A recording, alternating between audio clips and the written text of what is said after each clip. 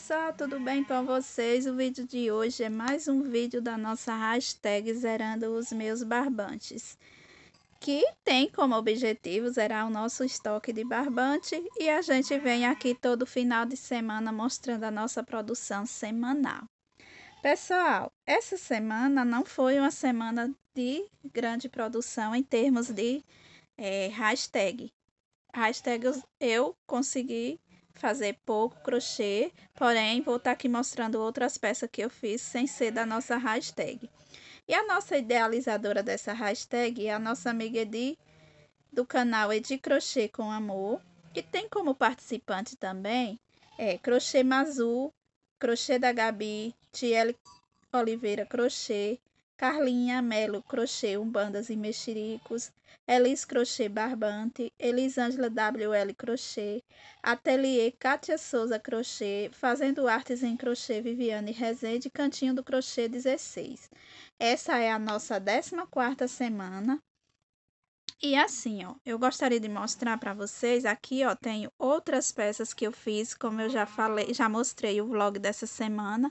Aqui, ó, não é fio de barbante, é fio de polipropileno e é de encomenda. Eu tô mostrando porque, assim, às vezes tem semanas que a gente produz outras peças que não é, seja as peças é, do, do nossa hashtag. E aqui, ó, Fiz também esses duas peças que vai sair o vlog aí durante a semana, mas que não são da nossa hashtag, porque essa daqui foi um barbante que eu comprei porque é de encomenda, essas aqui são de encomenda. Porém, eu tô mostrando porque foi essa produção da semana. Eu tô dando como uma justificativa, porque aqui, ó, essa semana foi eu me dediquei a esse trabalho aqui e aí, é, são duas peças grandes, então, querendo ou não, a gente acaba se pegando a peças que não são é, do nosso estoque. Mas também é muito bom, ó, porque aqui eu produzi com fio de polipropileno. É, não tá no nosso, digamos, na nossa hashtag, esse fio de polipropileno. Então, aqui foi comprado para ser trabalhado duas peças, ó. Eu mostrei já na semana o vlog dessas duas peças, que é encomendas de última hora. E essa aqui foi aquele é, cone de barbante que eu comprei para fazer a essa encomenda.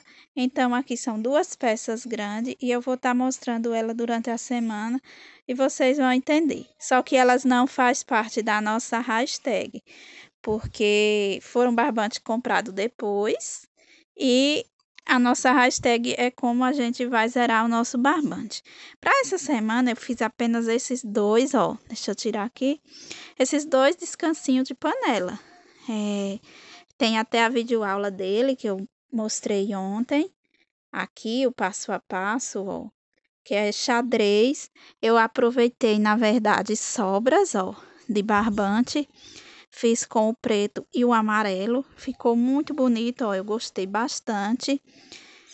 E assim, é... Digamos que foi a semana que para hashtag eu tenha eliminado poucos barbantes. Mas é isso mesmo, né? Se a gente tem é, objetivo de eliminar os barbantes, mas se a gente vai aparecer outra encomenda, a gente vai fazer a encomenda e vai deixar aqui de lado é, a nossa hashtag do Zerando os Meus Barbantes. Eu vou pesar aqui para mostrar para vocês quanto eu consegui eliminar essa semana. Ó, deixa eu ver. Cada peça quanto ficou. 119 gramas nessa daí. E essa daqui, ó, 123 gramas. As duas juntas vai dar 245 gramas. Então, eu vou anotar aqui no meu caderninho. Na minha 14 semana, eu eliminei 241 gramas. Abrindo essa aspas, né? Que é por causa que eu, vou, eu estava fazendo outras peças, peças de encomenda.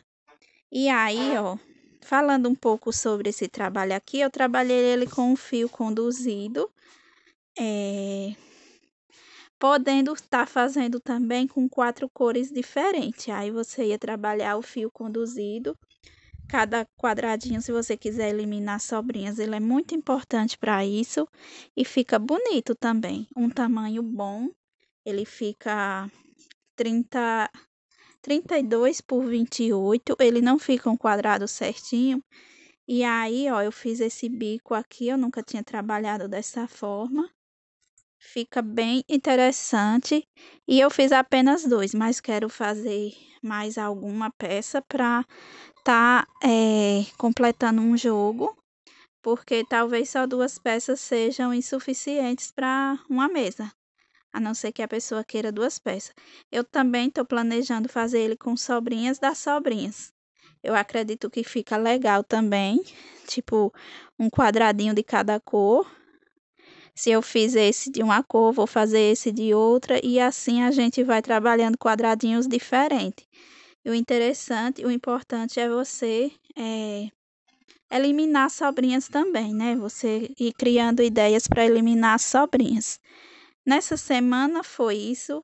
E aí, é, lembrando que eu vou deixar o nome das participantes, o, o canal das participantes toda na descrição do vídeo.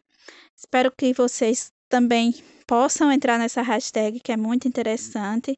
Às vezes você tem barbante de sobra e não está conseguindo é, terminar, sempre está comprando mais. E eu acho que é interessante você estar tá eliminando esses barbantes, porque quando você fizer, dá uma renovada no estoque em cores.